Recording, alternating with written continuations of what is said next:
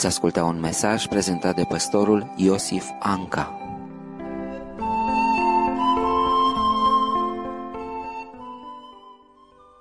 Dorim și de data aceasta prezența Domnului în mijlocul nostru, să îi dăm respectul de Dumnezeu și să ne smerim înaintea Lui și să stăm în ascultare în fața cuvântului Său.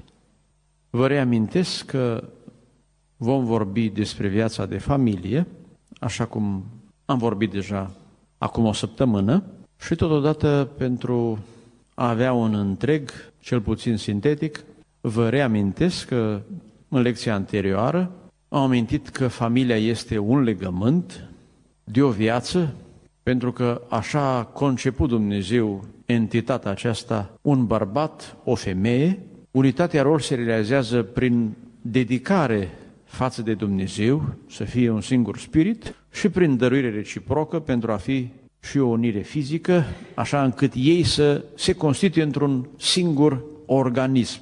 Aminteam de asemenea că familia are un principiu fundamental, dragostea.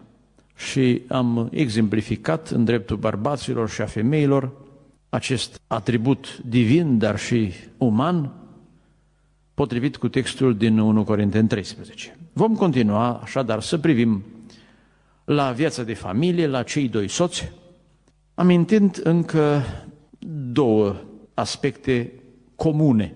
Primul dintre ele, comunicarea.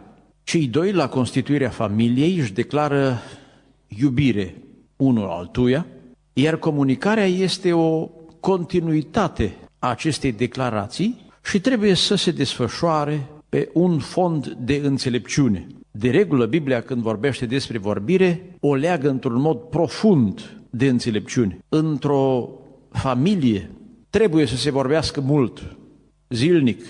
Cei doi au nevoie de o comunicare sufletească, este nevoie de comunicare în rezolvarea problemelor familiale, pământești, dar nu este tot una cum se vorbește.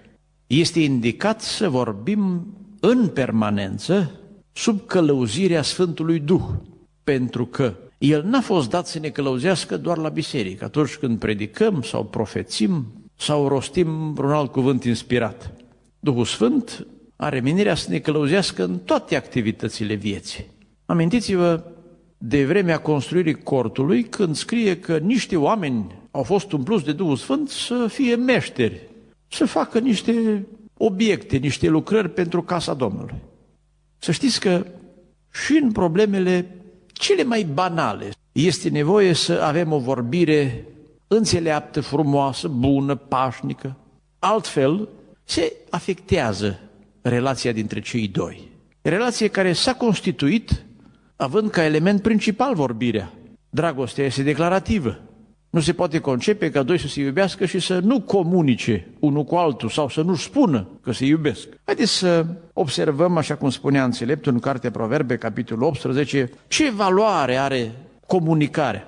Citesc de la versetul 20 și continuăm cu 21. Din rodul gurii lui își satură omul trupul, din venitul buzilor lui se satură. Moartea și viața sunt în puterea limbii. Oricine iubește, îi va mânca roadele. Deci sunt determinante. Limbajul, vorbirea, viața sau moartea, adică, după cum zice în Deuteronom, binecuvântarea sau blestemul, binele sau răul, trec prin vorbirea noastră. Și rămânând în Cartea Proverbelor, vreau să amintim câteva aspecte concrete. Nu vom face un studiu detailat despre vorbire, amintesc doar câteva și cel înțelept se verifică la vreme potrivită. Proverbe 16, versetele 23 și 24. Cine are o inimă înțeleaptă, și noi asta o discutăm în context familial, deci un bărbat și o femeie înțeleaptă își arată înțelepciunea când vorbește și mereu se văd învățături noi pe buzile lui. Cuvintele prietenoase sunt ca un fagur de miere, dulci pentru suflet și sănătoase pentru oase. Pentru că este indicat chiar și ceea ce scrie pe 23, să nu ne plafonăm, să avem aceleași expresii standard pentru o viață întreagă. Să fim creativi și înțelepciunea este.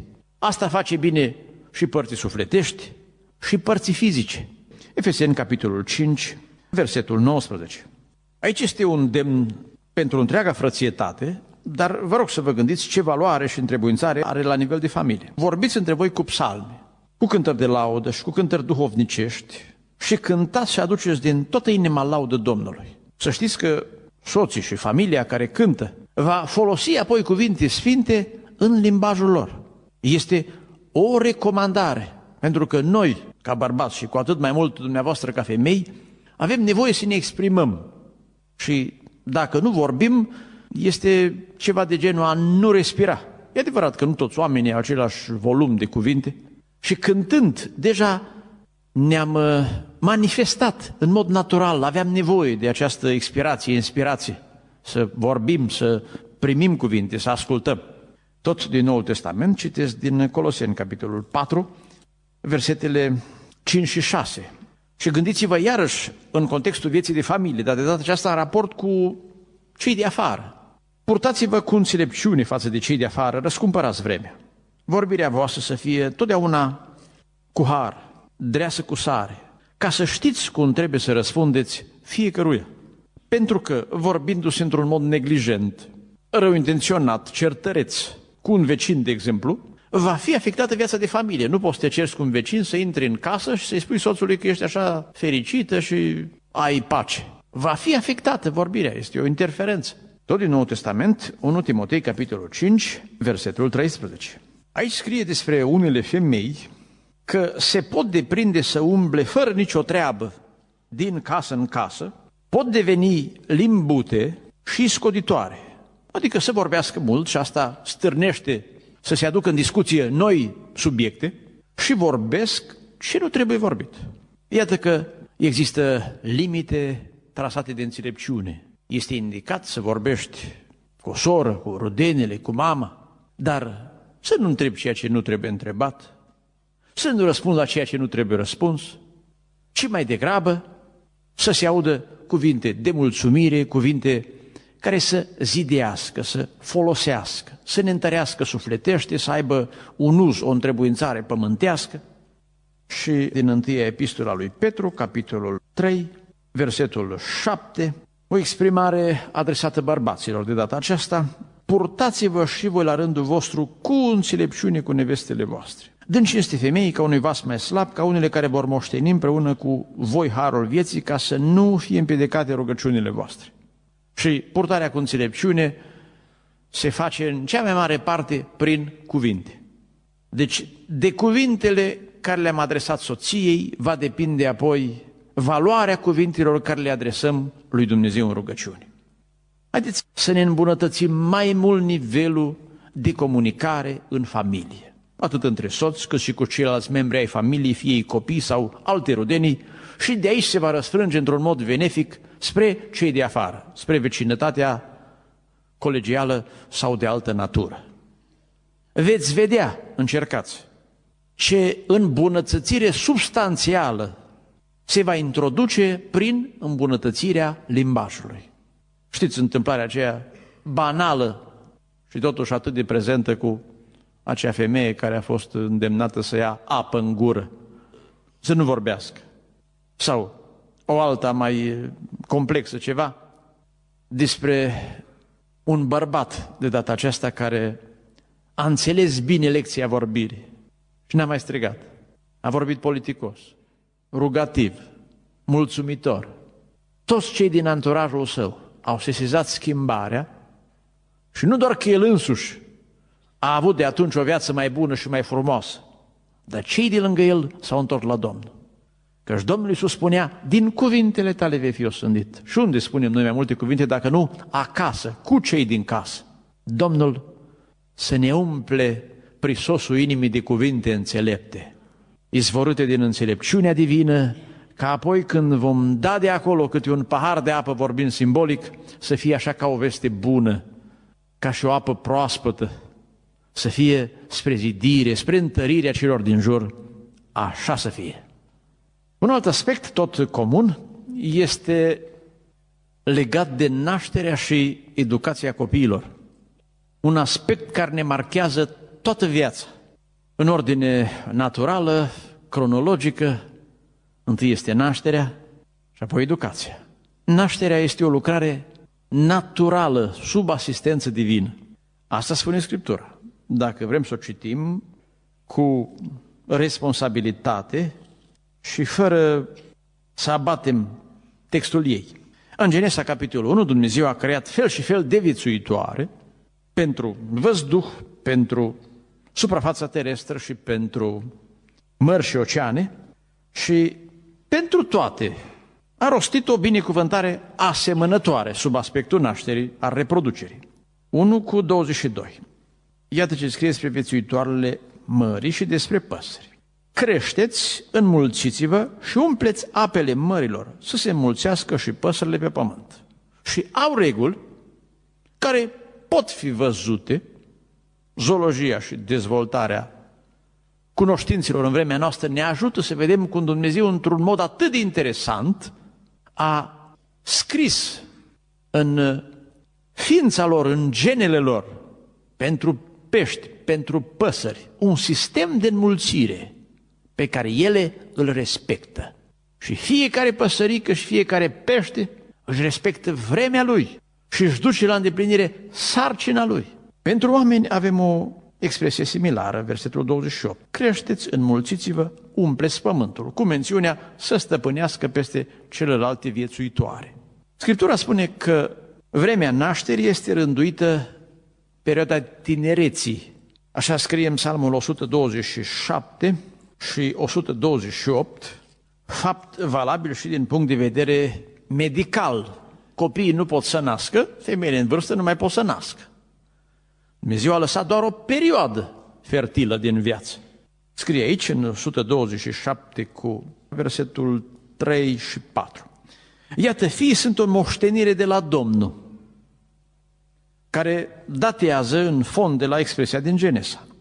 Rodul pânteciului este o răsplată dată de el. Ca săgețile în mâna unui războinic, așa sunt fiii făcuți la tinerețe.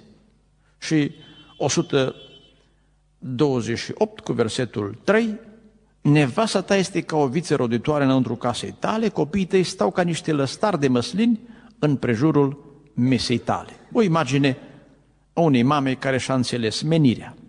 Singurele limitări sunt cele de ordin uh, fizic, natural, așa după cum avem mențiunea din uh, Levitic 15, fără să mai dau citire, sau Levitic 18 cu versetul 19, adică perioadele în care femeia, datorită procesului fiziologic prin care trece, este în incapacitatea unei relații cu soțul ei. Dumnezeu ca unul care a ținut și la aspectul de igienă, la aspectele sanitare, a interzis intimitatea pentru această perioadă. În rest, din punct de vedere natural, nu există restricție, evident. Mă refer la viața de familie. Ce este în afara ei este curvie sau prea curvie. Și mai există, potrivit cu ceea ce spune Pavel în 1 uh, Corinteni, capitolul 7, o recomandare, nu este o poruncă. Ce am spus despre aspectul natural, că femeia are perioadele ei de incapacitate, asta este o poruncă și este socotită o vinovăție, o necurăție. Dar în Noul Testamentul 1 Corinteni 7 scrie de la versetul 5. Să nu vă lipsiți unul pe altul datoria de soț, deci să se desfășoare viața de familie în mod natural, decât doar prin bună învoială, deci pentru un accept reciproc, comun al celor doi. Pentru un timp, ca să învădeliciți cu postul și cu rugăciunea, apoi să vă uniți iarăși ca să nu vă ispitească satana din pricina nestăpânirii voastre. Lucrul acesta îl spun ca o îngăduință, nu fac din el o poruncă. Acest capitol 7 în privința familiei face o diferențiere clară între ceea ce este poruncă și ceea ce este o recomandare. Un de exemplu zice, cei doi să nu se despartă, dar zice ca o recomandare, dacă vor să nu se căsătorească, le-ar fi mai ușor să rămână ca el, zicea Pavel. Deci aici este un aspect de ordin volitiv, pentru un scop spiritual. Ei doi voiesc să închine un timp Domnului, dar, zice aici, să fie limitat și să se grijească în reciprocitate ca să nu fie afectat vreunul din pricina nestăpânirii. De acum rețineți, acest procedeu nu poate să împiedice la nesfârșit o naștere, pentru că Dumnezeu ne-a creat în așa fel încât nu poți să duci perioade de abstinențe de ani, de zile. Ele pot fi doar pentru perioade mult mai restrânse, în condiții normale, naturale. Cât privește educația, ea este de fapt o continuare a conceptualizării genetice. Deci noi când educăm copiii, copiii născuți de o zi, noi de fapt nu-i luăm de la zero. Ei deja sunt născuți după chipul și asemănarea noastră. Ei deja au trăsături implementate în ei. Deja într-un anumit procent îi seamănă pe tata, pe mama, pe bunici, pe alții din familie. După cum s-a răsfrânt un cod genetic. Apoi, educația iarăși se restrânge, pentru că o parte din educația lor va fi dată de mediul familial, de ceea ce se întâmplă în casă. Dacă, de exemplu, doi soți se ceartă sau ei văd că este mizerie, mare valoare doar, de exemplu, de 60% să le spui tu să facă curățenie, să nu se certe. 40% deja s-a marcat prin starea de fapt, prin mediul care este acolo. Deci doar o parte revine educației propriu-zise. Restul, repete, este determinată de moștenirea genetică și de mediul în care se dezvoltă acei copii. Scriptura ne îndeamnă să ținem cont de vârsta copilului în educație. Într-un fel, trebuie să tratăm un copil mic și într-un altul un adolescent. Și uneori pentru noi, ca părinți, zicem, ieri alte ieri te țineam în brațe. Da, dar trebuie să nu uităm că acum mâine pe mine ține el pe altcineva în brațe și să nu mai tratăm ca atunci când îl țineam în brațe. Iată ce zice înțeleptul, citesc din uh, Cartea Proverbe, capitolul 4, de la versetul 1. Ascultați fiilor învățătura unui tată și luați aminte ca să pricepeți. Căci eu vă dau sfaturi bune și nu le pădați învățătura mea. Și el relatează, căci când eram încă fiul la tatăl meu și fiul ginga și singur la mama mea, el mă învăța atunci și zicea, păstrează bine inima ta cuvintele mele, păzește învățăturile mele și vei trăi. Și îl învață multe, multe, versetul 10, ascultă, fiule, primește cuvintele mele și anii vieții tale se vor înmulți. Versetul 13, ține învățătura, nu o lăsa din mână, păstrează-o, că cea este viața ta. Deci, folosiți timp pentru educația copiilor, faceți vreme și apropo de vorbire, vorbiți mult, mult cu ei, dădăciți până sunt mici din plin. Învățați scriptură, spuneți-le istorioare, norme de comportament, până sunt mici. Fii gingași. Atunci sunt într-o primă formare. Dar noi sfătuim și este normal și ei când sunt mari. Iată ce scrie în Proverbe 31. Cuvinte care nu se mai potrivesc unui copilaș mic. Citesc de la versetul 1. Cuvintele împăratului Lemuel. Din nou privește el amintindu-și. Învățătura pe care o dădea mamă sa. Ce să spun, fiule? Ce să spun, fiul trupului meu? Parcă se întreba meditativ. Ce-ar fi indicat să vorbesc eu cu băiatul meu care are 18 ani, cu fata mea care are 17? Ce să spun, fiule, rodul joinților mele? Ce-a găsit ce să-i spună? Nu-ți da femeilor vlagă. Fii atent. Că e vremea când ești ispitit. Și dezmerdările tale celor ce pe împărați. Nu se cade împăraților lemurile, nu se cade împăraților să bea vin, nici voi vozilor să umble după băuturi tare. Sfaturi potrivit cu vârstă. Iată așadar că fiecare lucru este frumos la vremea lui. Să nu uităm nevoia învățăturii. Și tot din proverbe despre învățătură vă citesc din capitolul 22, versetul 6. Învață pe copil cale pe care trebuie să o urmeze. Și când va îmbătrâni, nu se va abate de la ea. Adică poate să-l marcheze toată viața. Și versetul 15, nebunia este legată de inima copilului. Dar nu iau certării, o va deslipi. Deci este necesar să îl învățăm, dar este necesar chiar să poruncim, să fim autoritari. Dumnezeu a apreciat pe Avram și casa lui când a zis în Genesa, capitolul 18, versetul 19 despre el. Căci eu îl cunosc și știu care să poruncească fiilor lui și casei lui după el să țină calea Domnului. Și asta nu fără motiv, făcând ce este drept și bine, pentru că astfel Domnul să împlinească fețe de Avram și a făgăduit. De asemenea, este nevoie să sfătuim, în mod special când tinerii sunt mari, când copiii noștri sunt la vârsta căsătoriei, de exemplu. Tot din Genesa vă citesc din capitolul 28, de la versetul 1. Isaac a chemat pe Iacov, l-a binecuvântat și a dat porunca aceasta, să nu ție nevastă dintre fetele lui Canaan. Și fiul lui a ținut cont de acest sfat, venit de la Domnul, prin părinți. De asemenea, este nevoie să mustrăm copiii, Citesc din cartea 1 Samuel despre Eli, care și-a mustrat copiii și am ales acest exemplu pentru ca să vedeți că nu orice mustrare este receptată și uneori nu este suficient să ne oprim la atât. 1 Samuel 2 cu 23 și 24. El le-a zis, pentru ce faceți astfel de lucruri? Căci aflu de la tot poporul despre faptele voastre rele. S-ar putea ca părinte să afle ce ți-au făcut copiii. Ce trebuie să faci? Să mergi acasă, să discuți cu ei. Nu copii. Și auzi spunându despre voi, nu este bine.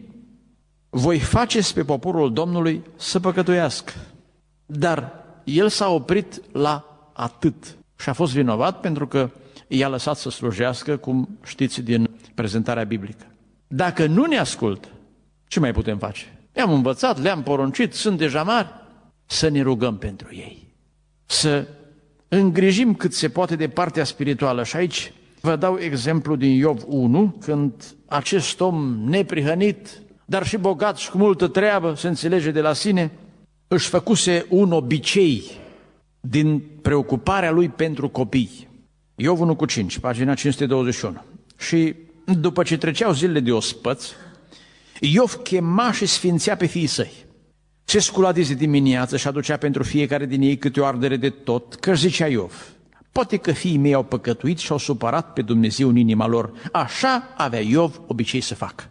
Deci, în concluzie, este bine până copiii sunt mici să-i adunați pe genunchi, în jurul dumneavoastră în pat, ca și cum scrie în pilda aceea din Evanghelii, și să le implementați o învățătură sănătoasă, care pentru a prinde rădăcini trebuie să fie într-un mediu sănătos în familie și apoi pe măsură ce ei cresc, potrivit cu nevoile lor, să nu încetăm, să îndemnăm și potrivit cu realitatea lor spirituală să apelăm la Dumnezeu și prin rugăciune, să aducem jerfe pentru ei, este indicat chiar să se postească la nivel de familie, după cum vă înțelegeți, pentru ca în final Dumnezeu să mântuiască și părinții și copiii. Amin.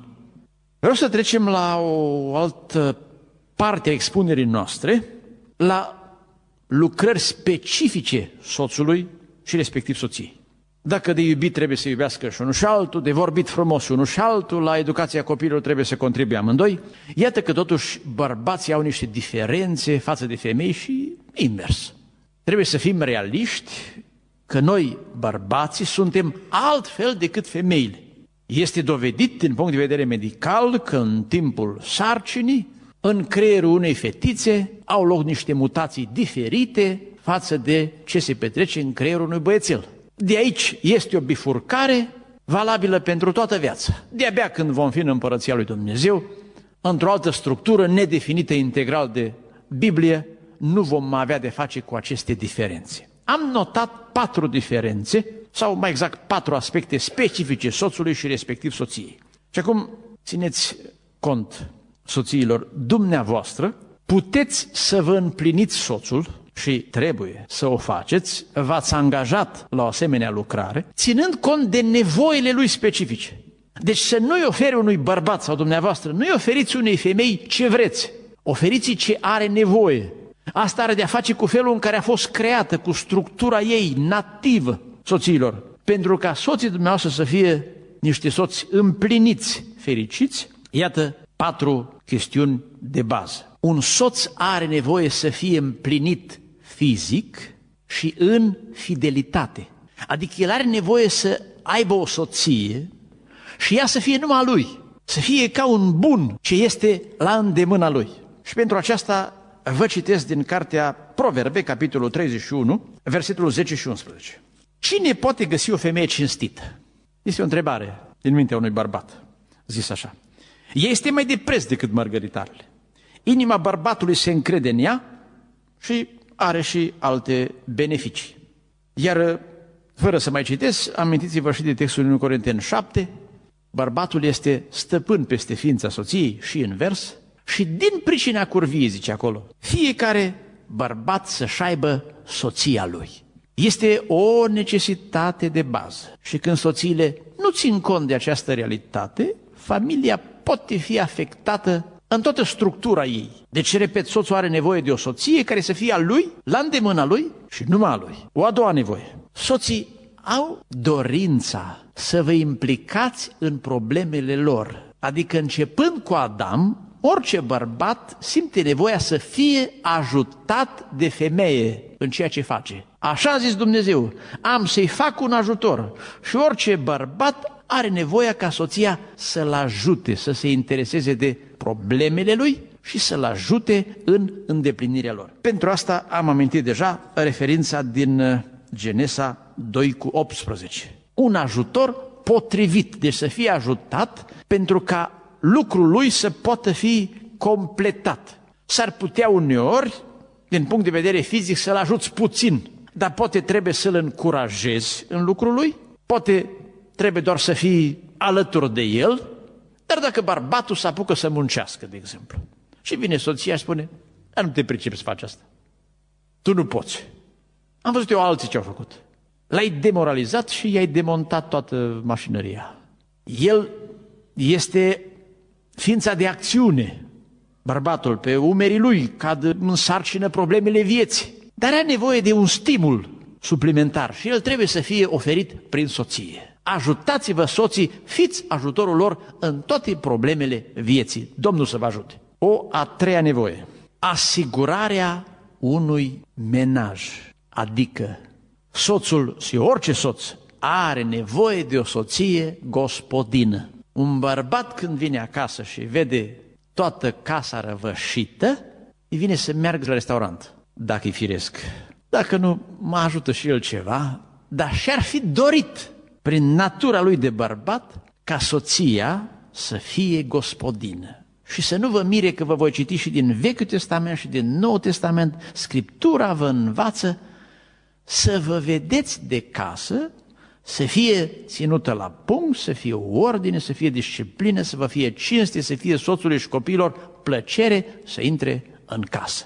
Hai să citim din Proverbe 31 de la versetul 11. O astfel de femeie nu duce lipsă de venituri. Știe să administreze banii.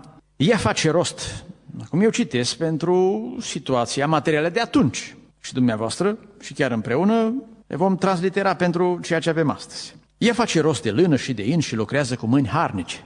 Deci cumpără materiale din care poate să confecționeze, materii prime. Este ca o corabie de negos și de departe și aduce pâine. Unde este mai ieftin, cumpără. Ea se scoală când încă este noapte și dă hrană casei sale. Copiii pleacă la școală, este nevoie de un pachetel cu merinde. Împarte lucru pe zi slujilor sale, se gândește la un ogor și îl cumpără din rodul muncii ei, să dește o vie și încinge mijlocul cu putere și o țelește brațele. Este o muncă de rutină. Trebuie niște brațe de oțel, dar iată că poate să le aibă o femeie. Versetul 21. Nu se teme de zăpadă, căci toată casa este îmbrăcată cu cărmiziu, ea face nevelitori, are haine din subțire și purpură, face cămăși, le vinde, dă cingătoare negustorului, este îmbrăcată cu tărie și slavă și râde de ziua de mâine. Deci are o asigurare din punct de vedere economic, stăpânește situația în familie din punct de vedere material. Și cred că este mai de preț o femeie care în condiții de sărăcie, din puțin face ceva. Așa sunt unele gospodine. Te mir din ce? N-are un vițel să taie și nu știu câte măsuri de făină ca Sara să gătească repede la musafiri. Din puțină făină dintr-o pungă și ceva într-un frigider și repede rezolvă ceva. Și încă asta cu inimă bună. Și toate vor fi de minuni. Citesc și din Noul Testament, din 1 Timotei, capitolul 5, unde scrie cum trebuie să se comporte soțiile tinere de îndată ce se căsătoresc. Versetul 14. Vreau doar ca femeile, aici văduvele tinere, să se mărite, să aibă copii, și asta este funcțiunea fundamentală, să fie gospodine la casa lor să nu dea potrivnicului niciun prilej de ocar. Deci este și o imagine neplăcută. Mai cu o seamă să fie o familie cu copii, dar să fie totul vraiște. Și o altă referință, Tit, capitolul 2, versetul 3 și 5. Spune că femeile în vârstă trebuie să aibă purtare cuvincioasă, să nu fie nici clevetitoare, nici de date la vin, să învețe pe alții ce este bine, versetul 5. Să fie cumpătate, cu viața curată, să-și vadă de treburile casei. Adică să se preocupe de gospodărie. Să fie bune supuse bărbaților pentru ca să nu se vorbească de rău cuvântul lui Dumnezeu. Ei, noi știm că sunteți femei harnice, doar v-am încurajat să o faceți cu inimă. Și o a patra și ultima nevoie a bărbaților, cel puțin din expunerea mea, admirație, respect, adică bărbații au nevoie de o soție supusă. Aceasta este voia divină pentru femei, accentuată după căderea Evei. Este ceva împotriva firii dumneavoastră. Supunerea pentru femei la fel de istovitoare ca munca pentru bărbați. Țineți minte ce am spus. Și dumneavoastră o puteți recunoaște din propria ființă. Cu cât o femeie este mai duhovnicească, va resimți mai puțin aceasta. Cu cât este mai firească, cu atât îi va fi mai greu să se supună. Iată ce a zis însuși Dumnezeu Evei. Genesa, capitolul 3, de la versetul 16. Voi mări foarte mult suferința și însărcinarea ta, cu durere vei naște copii și dorințele tale se vor ținea după bărbatul tău. Deci el este cel care pune rezoluția peste intențiile, peste voința dumneavoastră. El va stăpâni peste tine. Este, repet, echivalentul muncii pentru Adam, suferința și supunerea. Dar, iată ce scrie în 1 Petru, capitolul 3, despre femeile evlavioase, cum privesc ele această sarcină în ghilimele. 1 Petru 3, de la versetul 1. Tot astfel nevestelor. Fiți subuse și voi bărbaților voștri, pentru ca dacă unii nu ascultă cuvântul să fie câștigați fără cuvânt prin purtarea nevestelor. Deci fie că sunt pocăiți, fie că sunt nepocăiți. Cel puțin în problemele pământești, în probleme decizionale, în discuții, tot trebuie să fii supusă soțului. Că nu te supui când zice să nu vii la biserică. Da, și asta. Nu poți să nu-ți faci treaba în casă, să nu ții cont de celelalte nevoi, să spui, ă, nu, fac pe călugărița că sunt pocăită, mă duc la biserică și nu muncesc și în final spui, nu, că eu sunt supusă soțului. Păi toate astea sunt incluse în supunere, că este pocăit sau că este nepocăit. Și aici scrie de la versetul 5, astfel se împodobeau în sfintele femei care îndrăjduiau în Domnul și erau supuse bărbaților lor ca Sara, care asculta pe Avram și îl numea Domnul ei. E gândiți-vă în cartea Genesa, în ce aspecte Sara a ascultat pe Avram? Eu știu de două situații similare în care el a cerut să spună că este sora lui. Și a ajuns într-o situație ingrată, incomodă, dar ea a ascultat. Ficile ei v-ați făcut voi dacă faceți binele fără să vă temeți de ceva. Deci bărbatul trebuie să rămână un domn așezat de Dumnezeu sau așa cum spune Pavel în Corinteni 11, un cap al dumneavoastră. Dumnezeu să vă binecuvânteze cu cap cu tot, cu bărbat cu tot, adică. Așa, să trecem la nevoile dumneavoastră, de data aceasta uitându-mă efectiv și adresându-mă soților. Eu am spus cândva, o puteți spune și dumneavoastră, că n-am înțeles nevoile și dorințele unei femei din teorie, decât după ce m-am căsătorit. Și recent îmi spunea cineva căsătorit nu de mult, după ce m-am căsătorit, spune el, mi-am dat seama că viața de familie este altceva decât am gândit eu. Hai să vedem cum gândește Scriptura. Patru nevoi feminine. Prima, afectivitate. Soțiile au nevoie de un soț aproape de ele.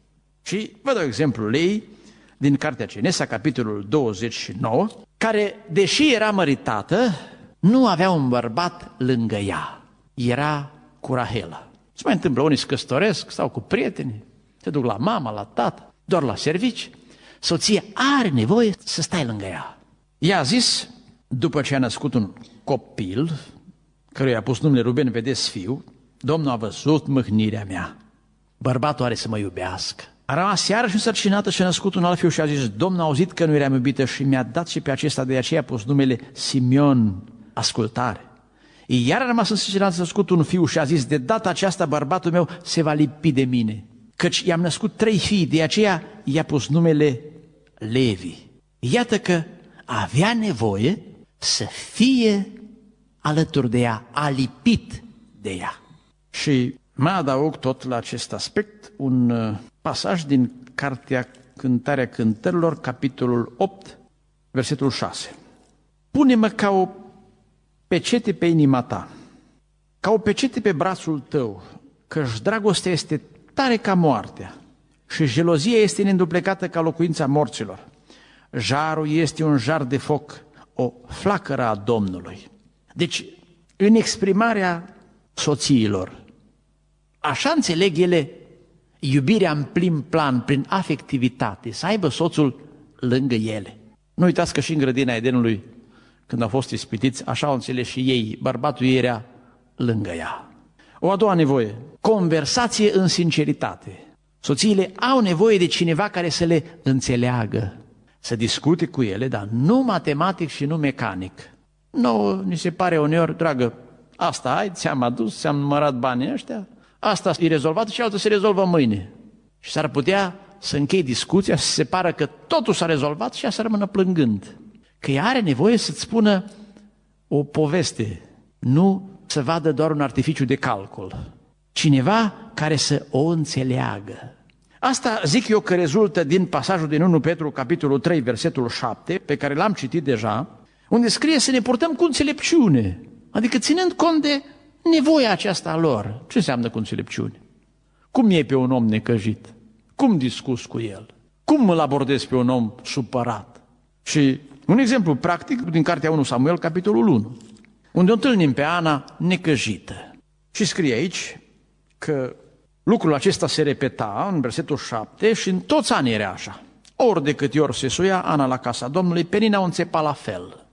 Atunci ea plângea și nu mânca. El cana bărbatul ei zicea, Anu, pentru ce plângi? Cum credeți că o întreba acolo față de toți? Și spunea, mănâncă repede, că plecăm. Socotesc că Elcana se retrăgea lângă ea, se apleca, o întreba și insista. Iată a doua întrebare. Pentru ce ți este întristată inima? Oare nu prețuiesc eu pentru tine mai mult decât zece fii?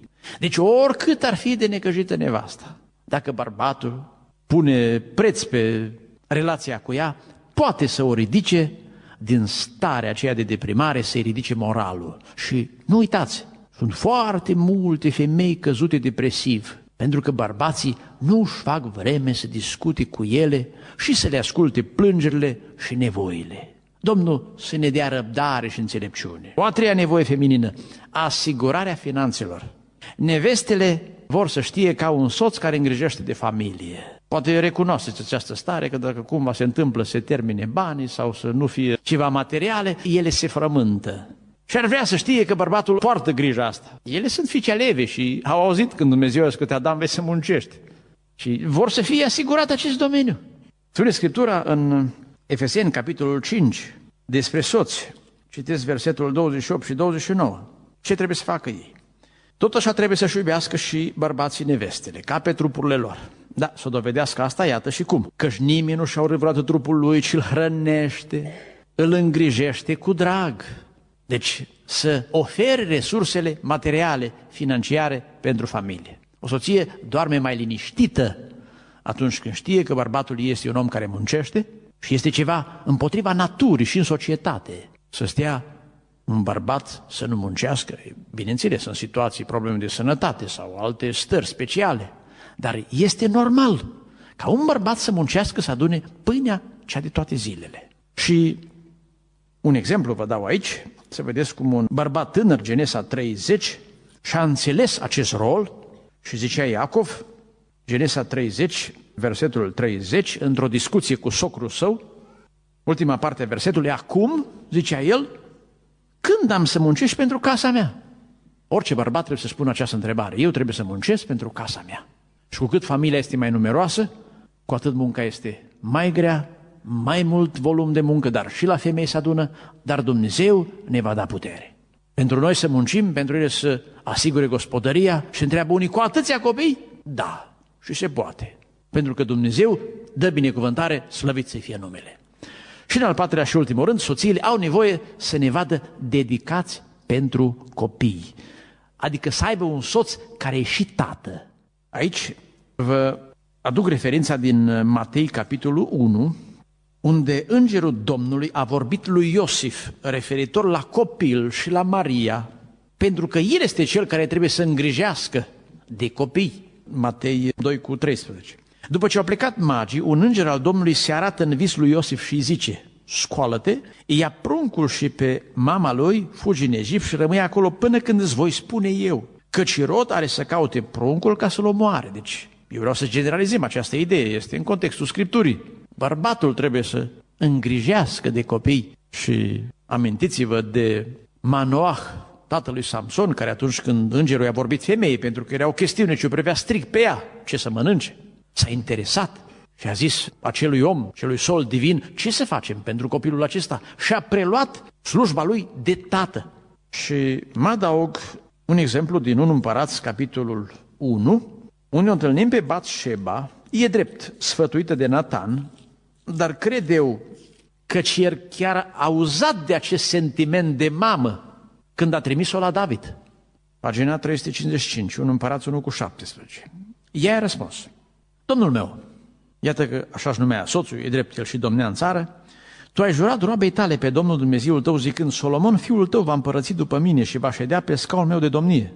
Și acum iată că Adonia împărățește și tu nu știi împărate, Domnul meu? Cu alte cuvinte, bărbate, mi-ai promis ceva legat de acest băiat. Acum te rog, implică-te. Sau amintiți-vă de Sara, care a zis lui Avram și Dumnezeu a confirmat, ține cont de ce a spus soția ta, problema asta cu copiii te privește să o rezolvi. Și Domnul să ne ajute și la aceasta. Acum eu n-am prins toate, măcar că acestea sunt niște capitole generale și de aici pot să fie multe bifurcații. Dar rețineți ideea aceasta a diferențierii nevoilor bărbaților față de femeilor. De fapt, asta ne face complementare, un tot unitar. Vom încheia, urmând ca în lecțiile viitoare să vorbim despre problemele vieților celor familiști. Despre certuri, despre gelozie, despre probleme financiare care apar, despre probleme legate de relația cu ceilalți membri din familie, le vom vedea pe toate la vremea lor. În aceste două lecții am pus problemele doar în sens pozitiv. Cine învață Biblia? Cel mai bine așa ar fi. Nici să nu învățăm cum e rău. Dumnezeu când a pus pe Adam și Eva în grădină, le-a spus cum să facă să fie bine. După ce ei au gustat ulterior din pomul cunoștinței bine și a răului, avem și cum să se trateze. Da, normal, noi ar trebui să învățăm numai auzind binele. Să ne iubim, să vorbim frumos, să ne creștem copii, după ce s-au născut în mod natural în familia noastră, să ținem cont de dorințele bărbatului și ale femeii. Deci, în final, în dezbaterea noastră pozitivă de până aici, vreau să reamintesc soților care este chemarea lor sau datoria, dacă o simt ca o povară, să-și iubească soția și familia în scopul mântuirii casei. Gândiți-vă ce gând l-a putut marca pe Adam după ce a fost evacuat din grădină. Lăsați-mă să vă spun ce gândesc eu. Cred că, în mod natural, el și-ar fi dorit să fie din nou în grădină. Dar nu se mai putea asta. Dacă Dumnezeu a lăsat iubire în soț față de soții, fa valabil și pentru Adam și Eva, nu credeți că Adam ar fi dorit pentru soția lui să ajungă ea din nou în rai? Împreună cu el, evident. Și acum scrie Noul Testament, vor moșteni împreună cu noi harul vieții. Ca un prim scop, o, oh, dacă ar fi soția mea mântuită, să ajungă din nou în rai. Și, într-un al doilea plan, secund și temporar, aici pe pământul ne-am fost alungați. Să-i fac soției viața mai ușoară. Asta zice iubirea. Așa este scris în Efeseni capitolul 5, de la versetul 25, iubiți-vă nevestele, după cum a făcut Domnul. Și ce a făcut El? Mai întâi ne sfințește ca să ne mântuiască. Nu vei fi un bărbat model dacă vei spune, am făcut casă la nevastă, am cumpărat tot ce a avut, am îngrijit-o. Mai întâi dorește ca să-ți mântuiești soția. Și apoi, cum am citat deja de la 28, să o îngrijești ca pe trupul tău, să-i faci viața ușoară aici pe pământ, până vom ajunge din nou în rai. Cât despre dumneavoastră ca femei, chemarea, dacă o simțiți, datoria, dacă vă simțiți provocate prin ce am spus, este supunerea. Și cu asta gândiți-vă la ce ar fi trebuit să gândească Eva după ce a fost expulzată din rai. Ea se simțea vinovată, în mod sigur. Doar de aceea s-a ascuns printre pomii din grădină. Ea a trebuit să fie conștientă că nu poate să reajungă în rai numai ascultând de poruncă și supunându-se soțului. Adică reparând ceea ce greșise. În felul acesta veți fi un bun exemplu pentru copii. Veți da tonul supunerii, ascultării în casă. Așa vă veți recupera, repet, gândim prin prisma Evei, locul din rai, din împărăția lui Dumnezeu. Așa scrie aici în Efeseni, capitolul 5, despre situația dumneavoastră, de la 22 la 24. Nevestilor, fiți supuse bărbaților voștri ca Domnului. Căci bărbatul este capul nevestei, după cum și Hristos este capul bisericii, el mântuitorul trupului. Și după cum biserica este supusă lui Hristos. tot așa și nevestele să fie supuse bărbaților lor în toate lucrurile. Dacă vom proceda așa, după aceste două îndatoriri fundamentale a iubirii și a supunerii, viața de familie va fi clădită pe niște principii sănătoase, mântuitoare în primul rând, și apoi care vor da fericirea chiar aici pe pământ. Dumnezeu să ne ajute. Amin.